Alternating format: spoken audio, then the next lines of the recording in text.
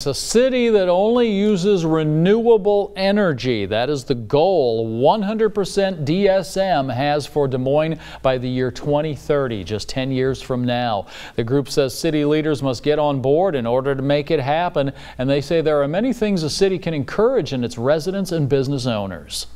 Encouraging private development of uh, solar at businesses and homes, see what they can do to encourage that uh, more energy efficient buildings? Can we reward people who are building buildings or refurbishing buildings that use less power?